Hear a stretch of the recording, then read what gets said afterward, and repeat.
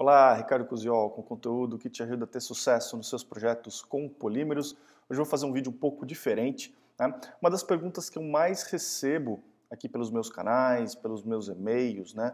muita gente realmente me pergunta a respeito de carreira, né? pessoas querendo entrar é, no mercado de trabalho, principalmente na indústria do plástico, querendo saber é, como é que faz, o que, que eu preciso estudar para começar a trabalhar com polímeros, é, que tipo de faculdade eu faço, que tipo de empresa e que tipo de, de função eu posso assumir. Eu recebo muitas, mas muitas perguntas mesmo referentes a esse assunto.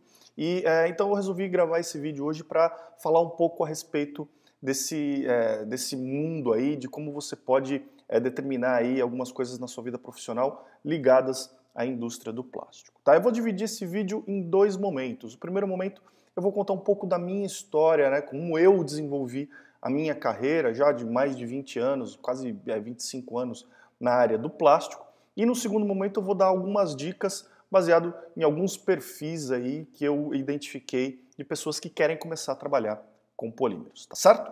Então vamos lá. É, eu comecei no, no, no, mundo do plástico meio sem querer, tá? Eu estava na época de decidir o que eu ia fazer da minha vida no colégio, né? E eu acabei prestando um concurso para é, uma escola é, de nível técnico, né? O Senai, de nível técnico, é, especificamente para o curso técnico em plásticos. Eu não sabia muito bem o que, que era isso, mas eu achei interessante, né? Dando uma lida ali no, no conteúdo do curso, falei, ah, acho que é esse que eu quero fazer. Fui lá, prestei, passei e estudei durante três anos e meio, em período integral para ser é, para me formar técnico em plásticos, né?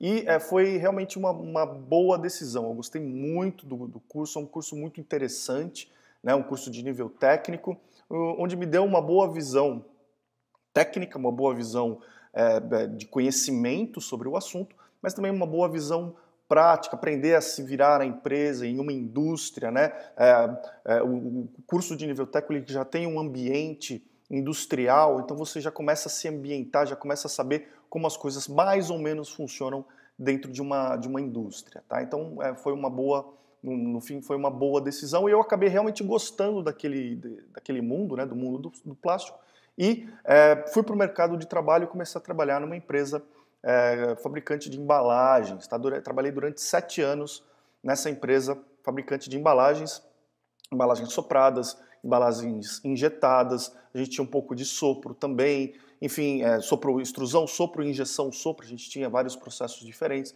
Trabalhava com muitos materiais é, diferenciados, é, tinham processos é, secundários de, de solda, tipo, processos de decoração, bastante interessante, me agregou bastante é, essa experiência. Tá? Né, nesse período que eu estava trabalhando nessa indústria, eu é, fui para a faculdade, fui estudar engenharia química. Tá?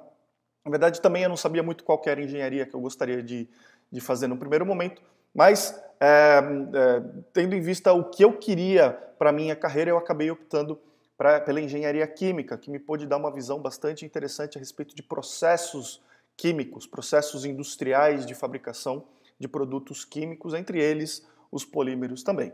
Tá? E é, nesse meio tempo, onde eu estava ainda na faculdade, eu acabei é, mudando de emprego, acabei indo para uma é, multinacional fabricante de material plástico propriamente dito. Tá? Fui trabalhar com plásticos de engenharia, é, é, fornecendo resina para o mercado.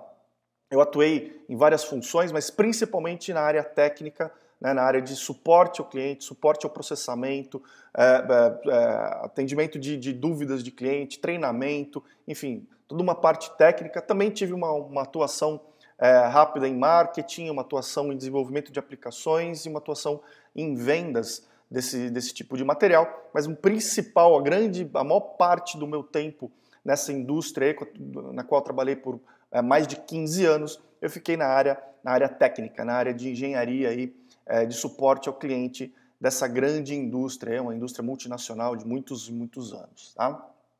E é, nesse período também eu acabei é, me aprofundando muito no conhecimento. Esse é um ponto importante, né? É, essa, essa oportunidade profissional é, fez com que eu aprendesse muito é, a respeito de materiais, com o conhecimento que está na indústria e não com o conhecimento acadêmico.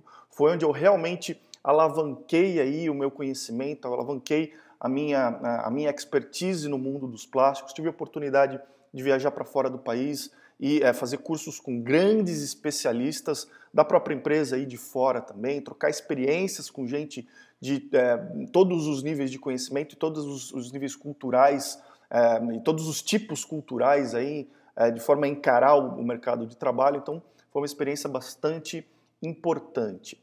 E, é, além disso, também é, eu acabei a faculdade, estava trabalhando e tive a oportunidade de fazer um mestrado na área, específica na área de polímeros, o que é, foi bastante interessante para também aumentar o conhecimento, é, te dar a oportunidade de focar em uma linha de pesquisa e se aprofundar em um assunto é, determinado, né? o que é, realmente é, dá uma, uma visão diferente aí da sua vida profissional.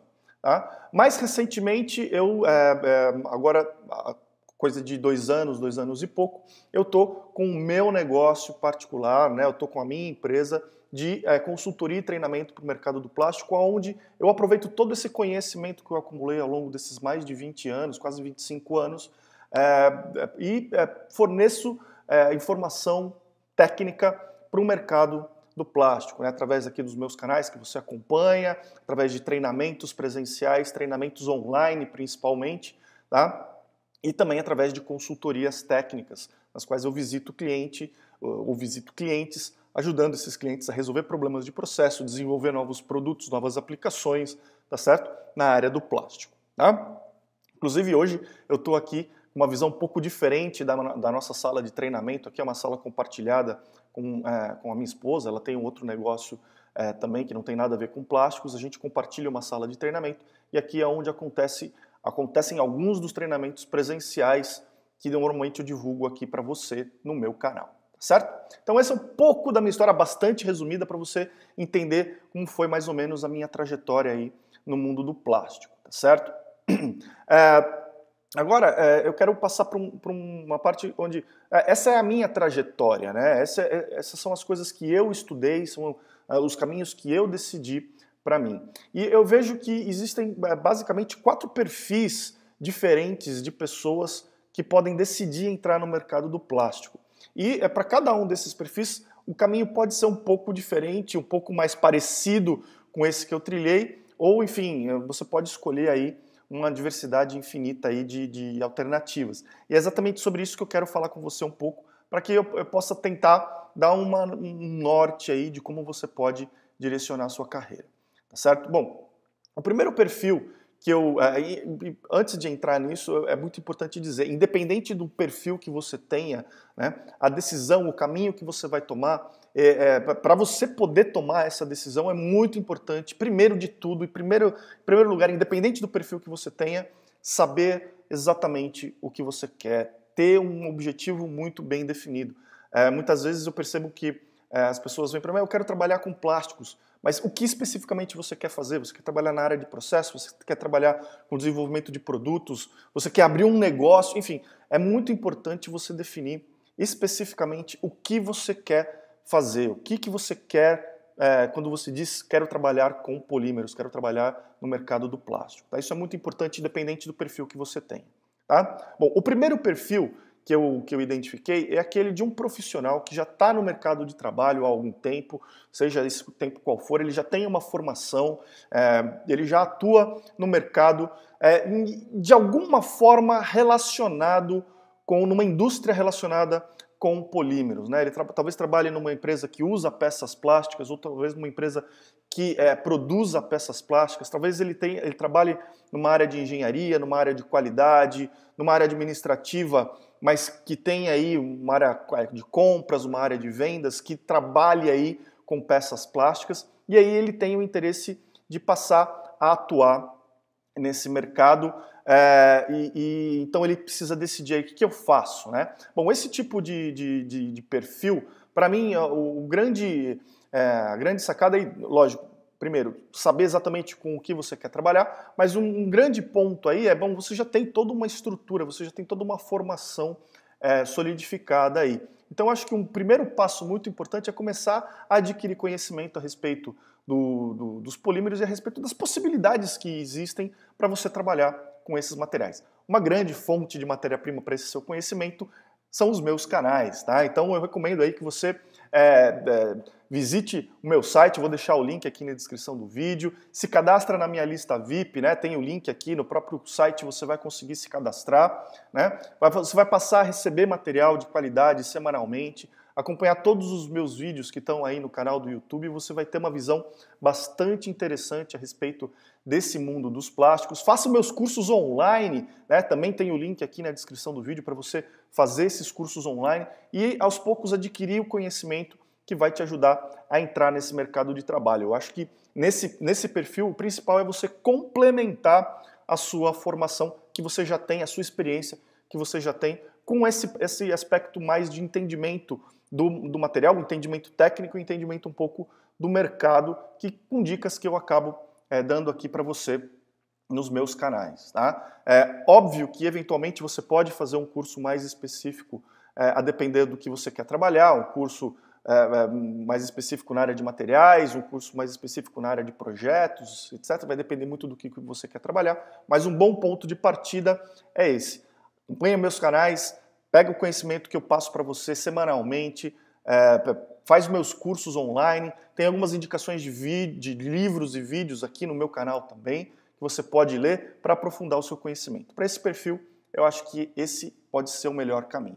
O segundo perfil é de profissionais que já estão no mercado também, mas com uma área que não tem nada a ver com materiais plásticos. Talvez é, seja um administrador que trabalhe com, hoje num ramo totalmente diferente. Talvez seja até um engenheiro, mas que pode trabalhar num banco, por exemplo. Então, um profissional que já tem uma formação, mas trabalha numa área totalmente diversa de, de materiais plásticos. E nesse caso, eu acho que também você pode ir pelo caminho aí de complementar a sua formação, mas eu acho que é, nesse caso é muito importante você é, ter um, um, um aprofundamento um pouco maior a respeito, técnico a respeito dos materiais, a respeito dos processos. Um bom caminho é também se inscrever na minha lista VIP, passar a receber os meus conteúdos, fazer o meu curso online, tá? Visita o meu site, vai aqui no, na descrição do vídeo que você vai ter acesso a isso. Mas nesses casos eu acho que é muito interessante e eu conheci muita gente que fez essa transição, fazer um curso rápido né, numa escola, né, numa escola técnica, onde você possa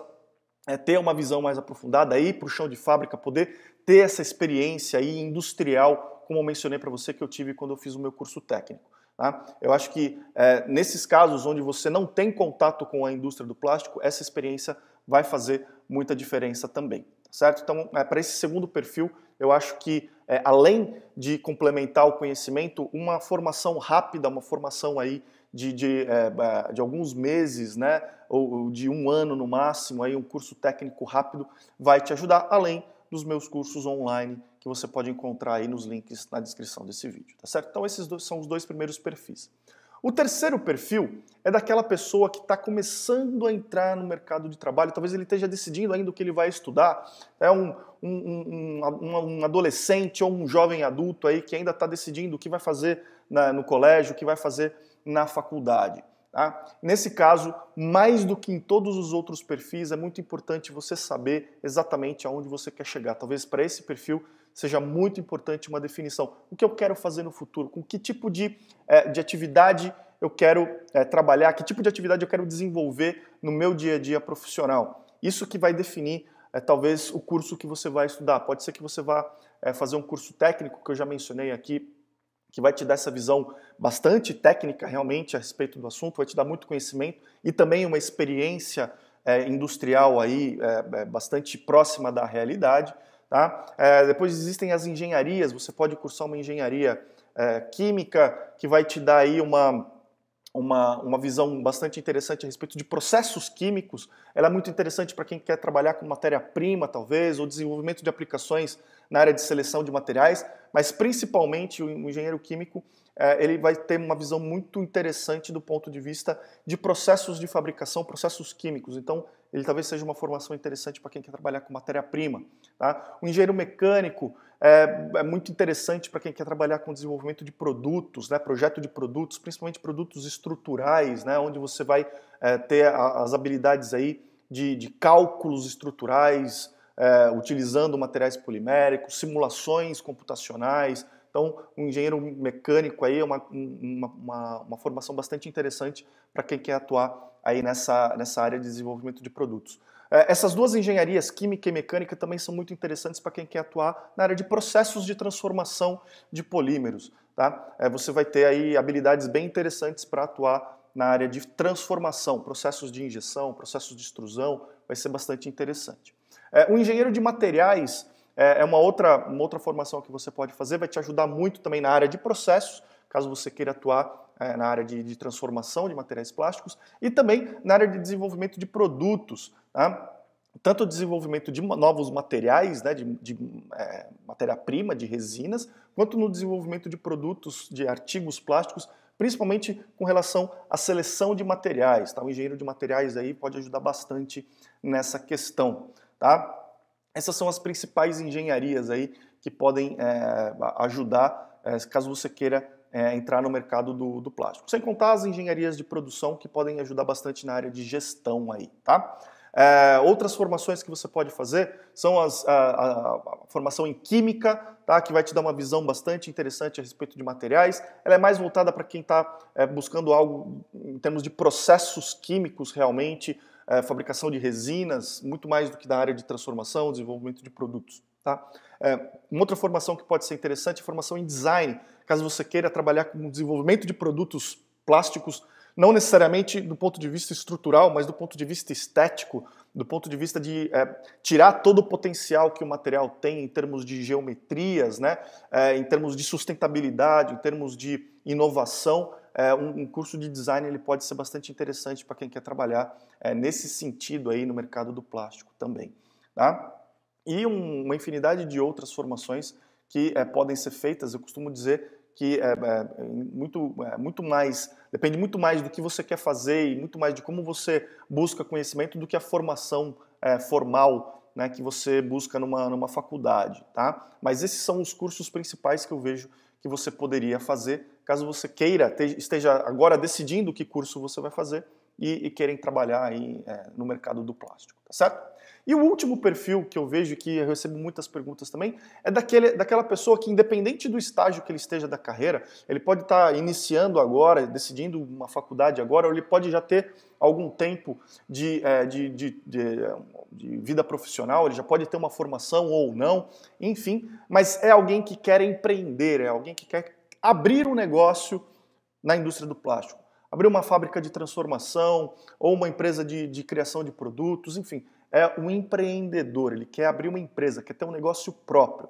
E para esse tipo de, de, é, de perfil, é o, o, que eu sempre respondo é, óbvio, é interessante você ter algum conhecimento técnico a respeito do material e, novamente, acompanhe o meu canal, se cadastra na minha lista VIP, clica aqui no meu site, conhece um pouco dos nossos trabalhos e passe a receber meu material semanal, faça meus cursos online e você vai ter aí o conhecimento que, que você precisa para poder passar a atuar nesse mercado. Mas principalmente para esse perfil, é muito importante você é, é, focar os seus estudos, focar o seu conhecimento, ler livros a respeito de empreendedorismo tá? a respeito de como abrir uma empresa, como gerir uma empresa, como liderar pessoas, como fazer o marketing do seu produto, como criar produtos que sejam interessantes para o seu cliente, como falar com esse cliente, como, como é, é, é, fazer com que o seu produto realmente tenha apelo para esse cliente. Tá? É, investir bastante tempo em, é, é, em, em, em, divulgação, em ser conhecido. Então, para esse perfil que quer empreender, que quer começar, que quer abrir um negócio na área de polímeros, essa é a minha melhor recomendação. Tá? É, é, apesar de ser interessante você ter aí um conhecimento é, técnico, eu acho que é muito mais importante você é, dedicar aí pelo menos 80% é, do tempo que você vai passar estudando, estudando a respeito de empreendedorismo, tá certo? A respeito de como você vai levar o seu negócio até o seu cliente para que ele tenha sucesso, independente do que você vai fazer certo? Então, essa aí é um, é um panorama geral. Eu espero ter contribuído com você que está tá, é, querendo entrar no mercado do, dos polímeros, independente de qual seja o seu perfil, é, desses quatro que eu falei aqui. Eu espero que tenha te ajudado a tomar uma decisão melhor a respeito de que curso fazer, é, a respeito de, de, que livros você vai ler, a respeito do que você vai é, dar de rumo para sua vida profissional. Fico muito curioso para saber como esse conteúdo te ajudou. Então me manda uma mensagem, conta a sua história, deixa um comentário aqui nos meus canais, me manda um e-mail dizendo como esse vídeo de hoje, esse conteúdo, te ajudou a, a, no seu dia a dia aí, a, a, tomar uma decisão melhor ou a resolver algum problema que você esteja enfrentando é, atualmente. Tá? Fico muito curioso para saber a sua história. Me fala também sobre outros assuntos que sejam do seu interesse, para que eu possa preparar vídeos como esse e artigos que te ajudem aí no seu dia a dia. Me ajuda a divulgar o meu canal, me ajuda a divulgar esse vídeo para uma maior quantidade de pessoas que você considera que podem se interessar pelo, pelo assunto dos polímeros, pelo assunto aí, é, tanto técnico quanto esse de desenvolvimento profissional na área de polímeros, tá certo? Divulga para a maior quantidade de pessoas que você conhecer. Lembra de curtir a minha página no Facebook, lembra de curtir o meu canal no YouTube, receba conteúdo por lá também. A gente se vê nos próximos vídeos, um grande abraço e até lá.